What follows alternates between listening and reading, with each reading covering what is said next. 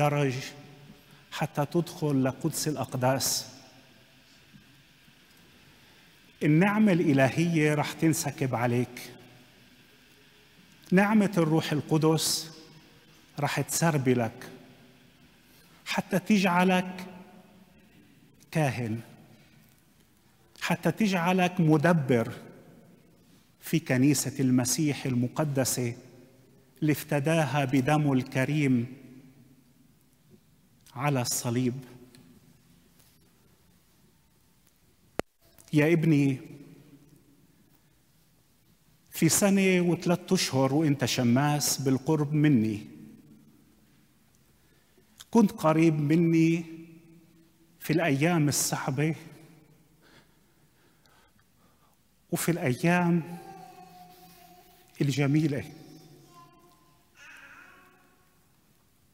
وقدرت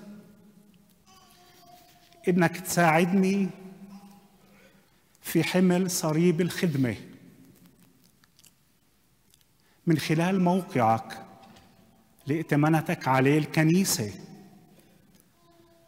كنت أراقبك وكنت أشوف فيك النمو المستمر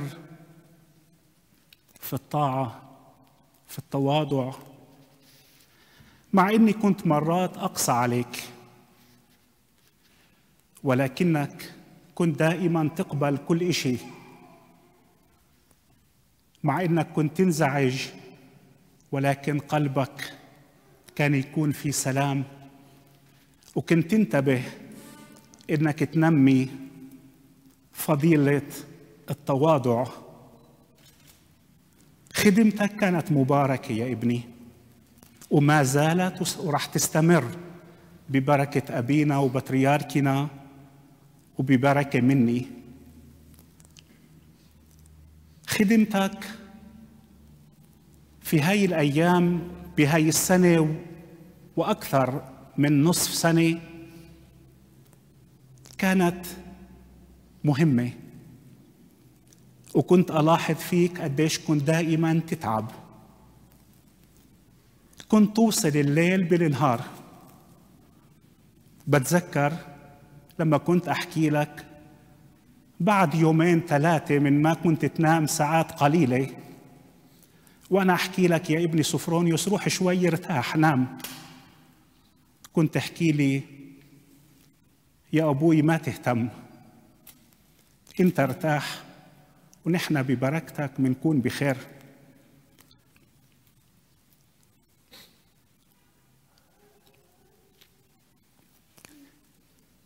كثير مرات شفتك قديش مشتاق لزوجتك مشتاق لبنتك الصغيرة صوفيا مشتاق لبيتك.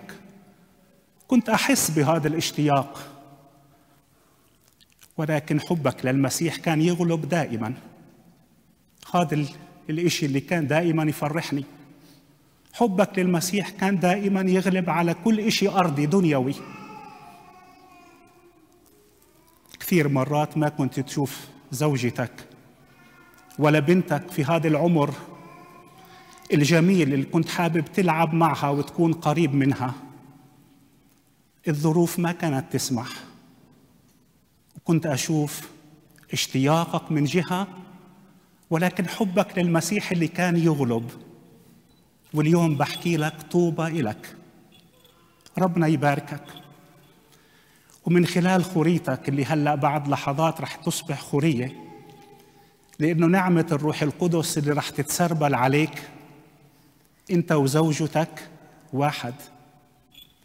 فبالتالي هي رح تكون خورية والخورية في الكنيسة إلها مكانة مميزة لأنها هي شريكة للكاهن هي سمعان قرنواني للكاهن.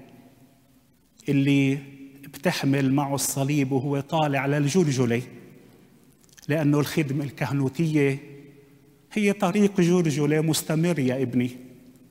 اللي باستمرار رح تموت وانت طالع في هذا الطريق. وماشي نحو جلجلتك. كثيرين رح تسمع منهم الأوسانا المدح وكمان رح تسمع من كثيرين أسلبه أسلبه ارفعه ارفعه. ما تهتم أنت في هذا الطريق وأنت ماشي. ضلك صاعد. شايف أمامك يسوع الحلو المصلوب على الصليب وأنت عارف ومدرك إنه قائم من بين الأموات. ومعه رح دائما تقوم وهو يعطيك تعزية ورجاء. من خلال خريتك اللي بحب أشكرها على محبتها وتفانيها وتضحيتها. ومن خلالها بحب أشكر كل خريات الآبائنا الكهنة على التضحيات اللي بيقوموا فيها بإنهم واقفين كجنود مجهولين بالقرب من كهنتهم حتى يقدر الكهنة يخدموا ببركة المسيح لخدمة شعبنا المؤمن التقي. يا بني سفرونيوس وأنا أفكر إيش بدي تعطيك الكنيسة حتى تساعدك في هاي الطريق اللي أنت ماشي فيها واللي لها صعوبات كثيرة. وبالأخص إنك مستلم قسم مهم في الكنيسة اللي هو قسم الإعلام. كنت دائما لما أفكر وأصلي أسمع صوت بقلبي يحكي لي اعملوا كاهن. كنت أحكي ما هو رح يبقى جنبي؟ ليش اعمله كاهن؟ خليه شماس. ولكن الصوت كان يزداد في قلبي ويحكي لي اعمله كاهن. لأنه وهو يخدم ككاهن رح نعمة الروح القدس. رح يأخذ قوة ومؤازرة من السماء. يا ابني نعمة الكهنوت عظيمة. أنت اليوم رح تصبح كاهن في كنيسة المسيح وفي بطريركيتنا المقدسية أم الكنائس. في تسلسل رسولي من المسيح بالعنصرة بحلول الروح القدس. القديس يعقوب أخي الرب أول أسقف على القدس ليومنا. بوضع يدي على رأسك بعد قليل. هاي اليد هي امتداد ليد المسيح امتدادا بكل الرسل القديسين الأطهار. ومن القديس يعقوب أخي الرب ليومنا. هذا هو الكهنوت المقدس. وهذا هو التسلسل الرسولي الموجود في كنيستنا المقدسة الرسولية الجامعة المقدسة الواحدة. هاي النعمة رح تختبرها يا ابني وإنت في كل قداس إلهي. ولكن انتبه. العنصر البشري دائما بنعمل تشويش. ما توقف عند العنصر البشري. دائما شوف المائدة المقدسة اللي عليها جسد يسوع. اخشع أمامها. واعرف إنه هذا هو القبر الخلاصي إلا لما لما ترمي عليه حضنك. وترتمي بحضن المائدة المقدسة وانت تتمم الذبيحة الإلهية راح تستمد نعمة قوة تعزية سلام فرح ما بيقدر أحد يوصفه. هاي هي نعمة الكهنوت وهذا هو حرور الروح القدس. عشان هيك يا ابني سفرونيوس ما تخلي أي شيء دنيوي بشري. إنه يشوش هاي الخدمة المقدسة وإنت بتتمم الأسرار الإلهية من الآن وصاعدا ككاهن في كنيسة المسيح. شعبنا المؤمن قديش بينتظر منا نحن الإكليروس إنه نقدم له كثير شعبنا يا بني زي ما بتشوف بمر في أيام صعبة. اللي فيها يوميا بدرك فناء الحياة وبيصطدم يوميا بالموت.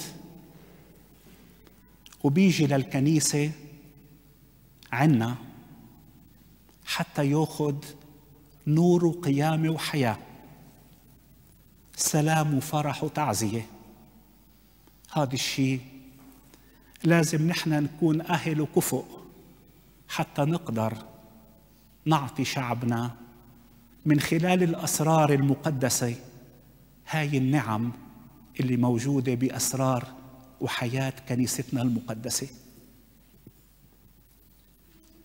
عشان هيك يا ابني اليوم والكنيسة ابتهب إليك نعمة الكهنوت المقدس حتى تتمم الأسرار الإلهية. تممها دائما بمخافة الله. واعرف إن الله دائما هو حاضر بحال غير منظور.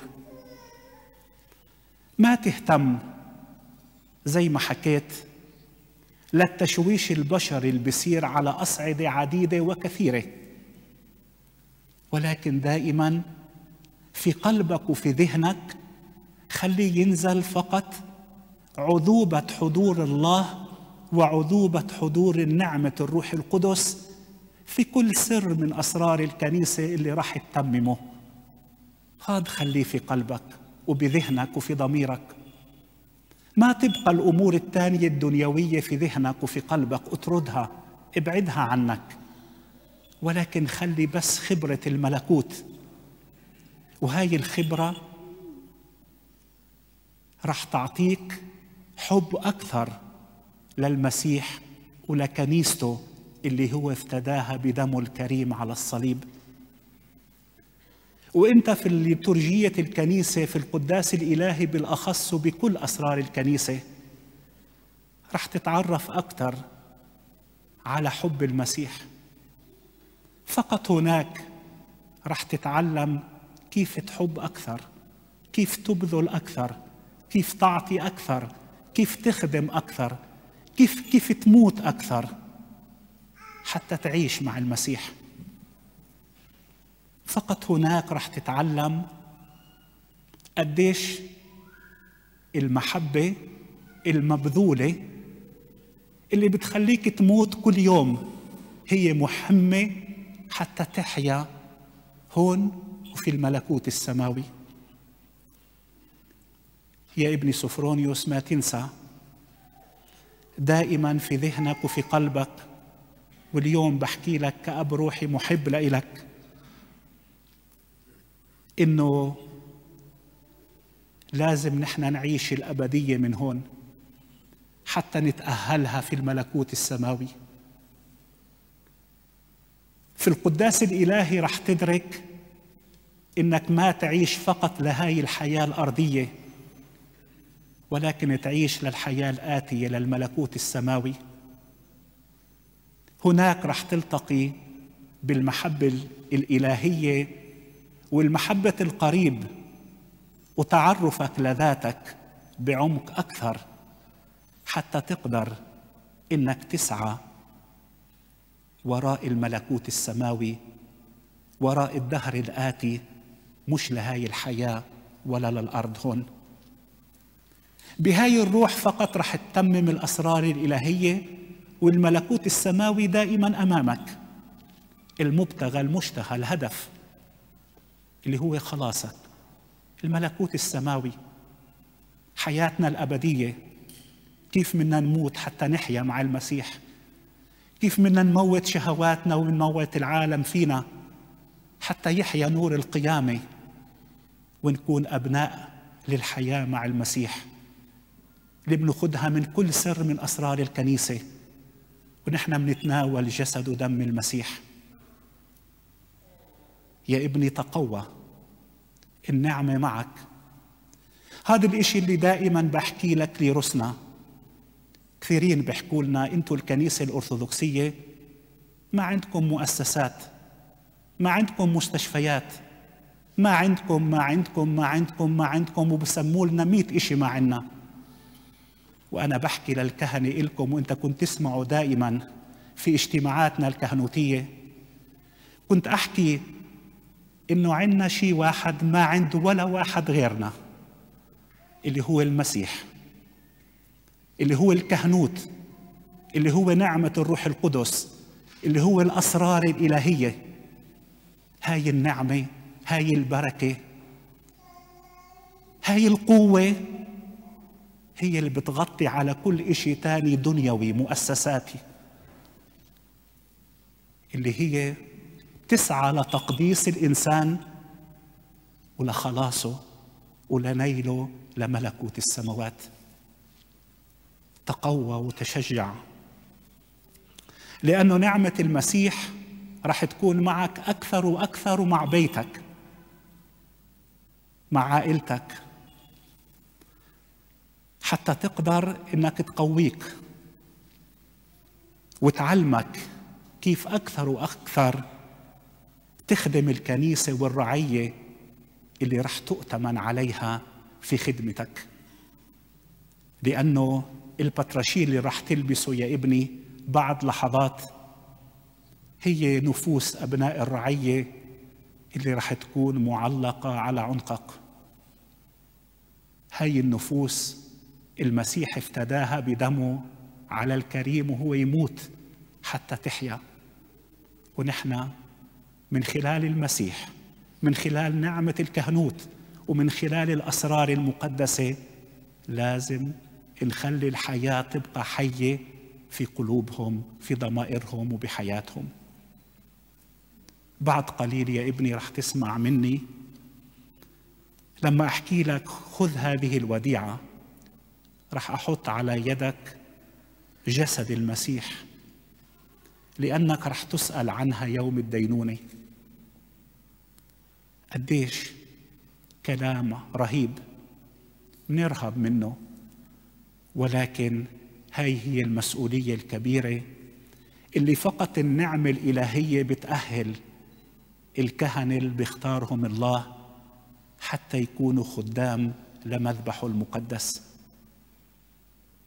بتذكر لما كنت عندي في المكتب وحكيت لك يا ابني رائد وقتها ادخل على المكتب الثاني واكتب الطلب للمجمع المقدس حتى تصير شماس وكاهن حكيت لي هالقد بسرعة؟ حكيت لك نعم هلأ. روح اكتبه. وعملت وقتها طاعة. من وقتها شفتك إنك ما بتع... ما بتلتفت للوراء. هذا كثير مهم بحياتنا الإكليريكية ما نتطلع لورا اللي بده يحط يده على المحراث يا ابني ما بتطلع للخلف ولا لحظة. لأنه إذا اطلع للخلف بموت. زي ما ماتوا كثيرين من الآباء والأجداد. وعندنا مثل لوط زوجته وعيلته كيف التفتوا للوراء واختفوا. يا ابني اقتربت الساعة أتت الساعة.